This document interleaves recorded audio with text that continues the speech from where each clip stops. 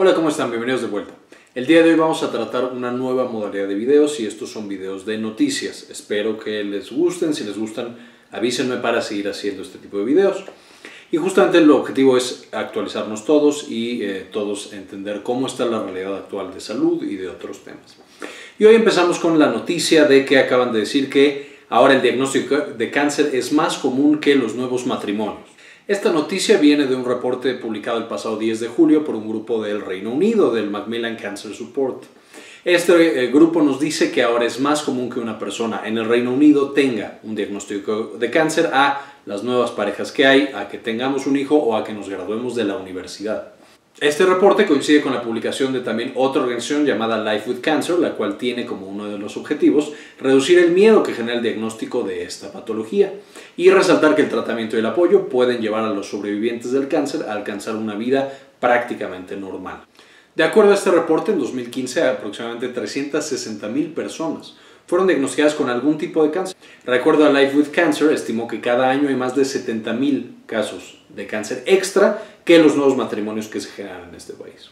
Y 50.000 casos nuevos encima de la cantidad de personas que tienen un hijo o que se gradúan de la universidad. Este mismo reporte señala que el cáncer es la enfermedad más temida con un 37%, incluso por encima de la demencia, que genera un miedo en 27% de las personas, y un evento vascular cerebral o enfermedad coronaria, que genera un 11% de miedo. Entre los pacientes con cáncer, el 23% expresó que sintieron que su vida había terminado al momento del diagnóstico. El 64% estaba preocupado por el impacto del diagnóstico en su familia y amigos y el 21% se mostró preocupado porque la gente los tratara diferente al saber este diagnóstico. Sin embargo, el 85% de las personas con cáncer no quieren que la enfermedad los defina. Un miedo bastante común. Queremos ser nosotros a pesar de la enfermedad que podamos tener. El impacto del cáncer en la vida diaria parece ser más manejable de lo que la gente realmente cree. O sea, no es tan malo y se pueden adaptar mucho más en la vida. El 90%, de las, el 90 de las personas con cáncer viven su vida lo más normal posible. 52% dicen que el cáncer no ha cambiado quiénes son ellos y el 75% señala que son capaces de sostener la relación con sus amigos de la misma forma que antes del diagnóstico de esta patología.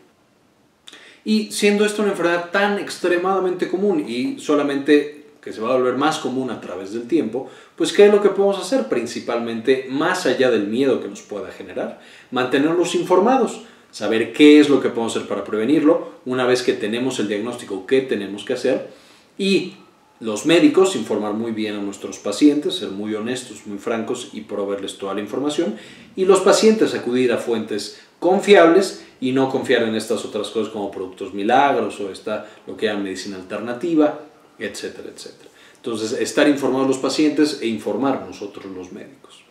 Bien, esto sería todo por este primer video de noticias. De nuevo espero que me digan qué les parece. Agradezco mucho al doctor Fernando Espinosa Lira que me está ayudando a hacer justamente estos análisis y estas noticias. A toda la gente de Patreon que me apoya para seguir haciendo estos videos de calidad tener cada vez mejor contenido. Y como siempre, no se cambiar el mundo, compartan la información.